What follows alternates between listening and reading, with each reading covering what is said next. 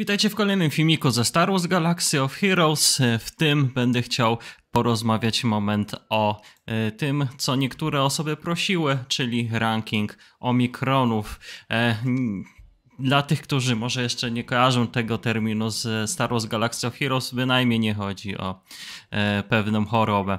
E, chodzi o postacie i o ich skille. Przykładowo mamy tutaj Gomoran Guarda, E, jeżeli bym chciał mu, tutaj mamy po lewej stronie umiejętności, jeżeli bym chciał mu podnieść e, jego właśnie poziom umiejętności na wyższy, to kojarzycie pewnie te materiały e, jak właśnie Ability Material MK2, czy też pod, podobna nazwa Ability Material MK2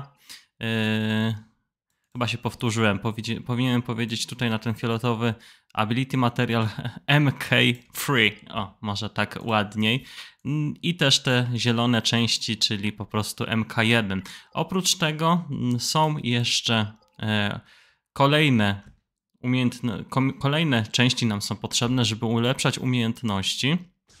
Są to zety i omikrony. Tutaj akurat właśnie będzie widoczny omikron, ale może jakąś e, zetę mam nie wrzuconą na Lando na pewno. Czyli jakbym chciał po prostu na poziom 8 umiejętności Lando podnieść ten perfect timing, żeby dodać dodatkowe 50% szansy na każdy z debuffów, musiałbym dodać właśnie zetę, omegę, te, te żółte to są omegi, te fioletowe to są zety, no i ten ability material MK3, ale e, wchodząc na jeszcze wyższy poziom umiejętności, niektóre postacie e, potrzebują żeby na przykład właśnie wejść na ósmy poziom u tej Mary Jade, żeby The, the Emperor's Hand, trzeba dodać Omikron. I Omikrony to są specjalne umiejętności, które dają na różnych yy, trybach gry specjalne dodatkowe umiejętności. Tak jak u Mary J, ma, macie podpis, że kiedy jest podczas Territory Battles i daje jej doda dodatkowe yy, rzeczy. I na przykład jeszcze gdzieś tu chyba mam Kyle Katarna, powiedzmy w e, Rebel Fighter postać. Mm, pu, pu, pu. Jest tutaj Kyle Katarn.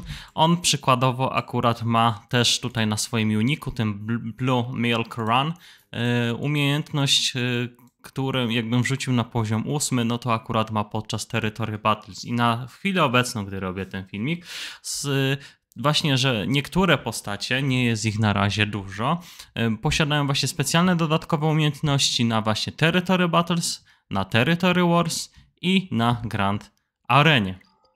I mam nadzieję, że to wyjaśnia o co chodzi w tych omikronach. Czyli e, niektóre postacie mają e, swoje umiejętności, które jak wrzucimy na poziom akurat ósmy w większości, czy wszystkich, no to jeżeli chcemy wrzucić, to musimy posiadać właśnie te Omikrony, a Ability Material Omikron, pełna nazwa.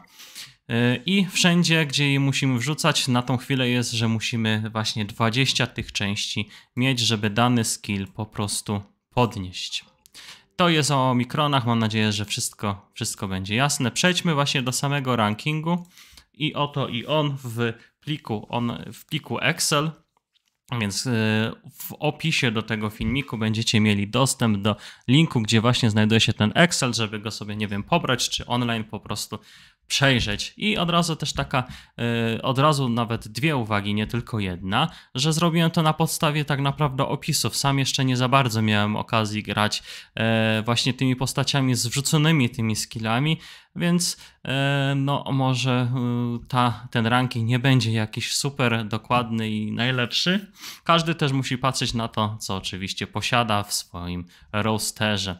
I tak, podzielony ten ranking jest na trzy części, czyli na postaci, które e, mają ten omikron i działa on na e, Grand Arenie, czyli umiejętności, jak je ulepszymy tymi omikronami, działają podczas Grand Areny podczas Territory Battles tu na środku i ter, y, Territory Wars, przepraszam, Territory Wars i Territory Battles na końcu.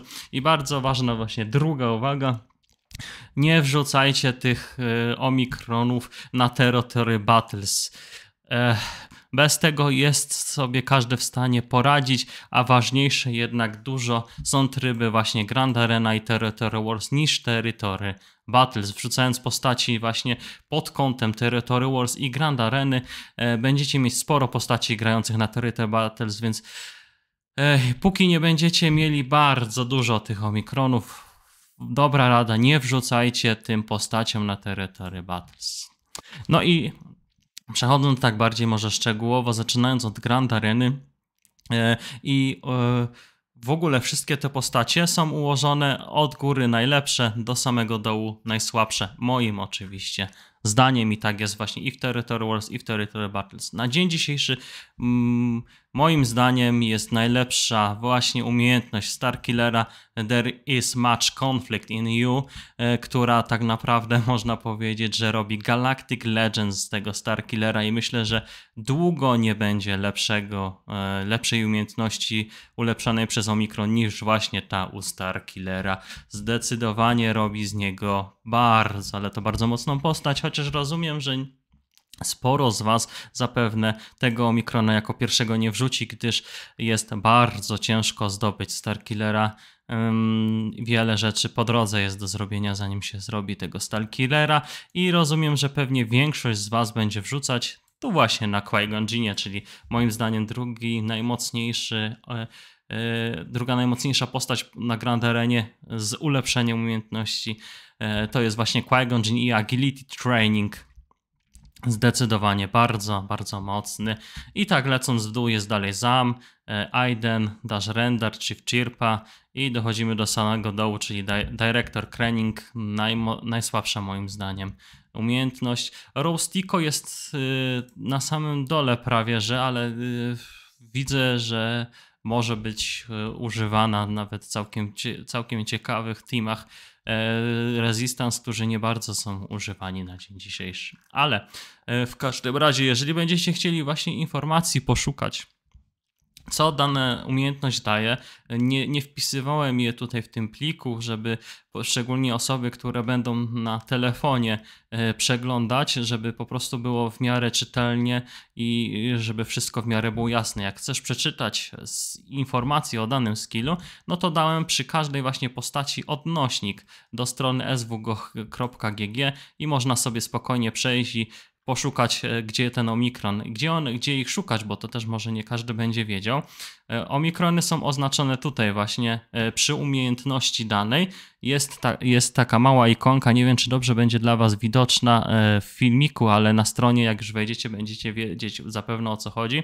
Przy danej umiejętności jest napisane jaki jest tier ostatni do ulepszenia umiejętności, czyli mamy tutaj Bundles Force Throw, więc widzę tutaj, aha, jest Ability Material Omicron, mogę sobie kliknąć, no i na samym dole będę miał informację, co potrzeba, żeby dany skill właśnie ulepszyć i co on e, daje, czyli tutaj właśnie podczas Grand Areny daje dodatkowe umiejętności Starkillerowi. I tak to wygląda.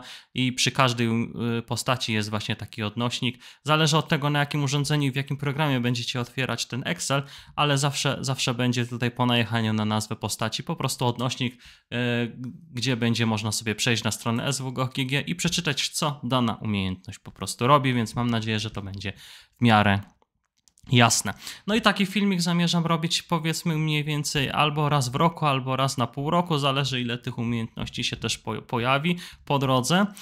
Yy, I yy, cóż, zostawiam Wam w opisie odnośnik do tego linku, możecie sobie spokojnie przeglądać. Odnośnik daje również do tego linku na stronie swgoch.gg.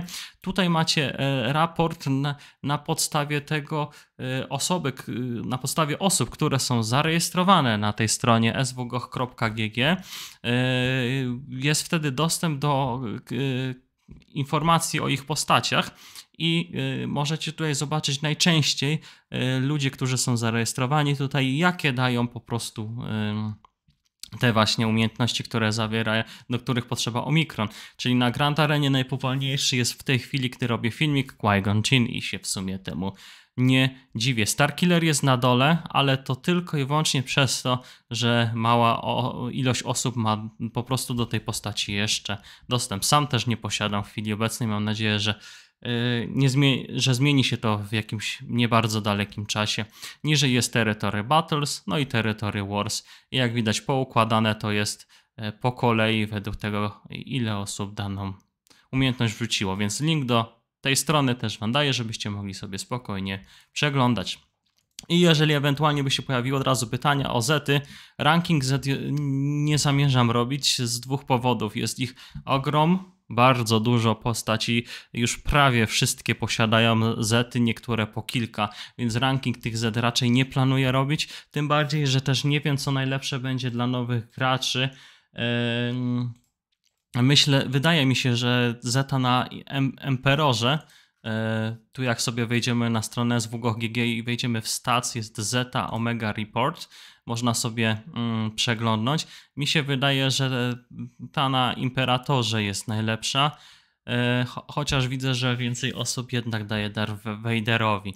Więc możecie na stronie SWGOG przejrzeć sobie, jakie są najpopularniejsze zety i myślę, że to będzie najlepszym rozwiązaniem, bo e, zdecydowanie to, co jest tutaj na górze, bez bez szczególnego mm, przedłużania zgadzam się z tym, co tutaj po prostu jest.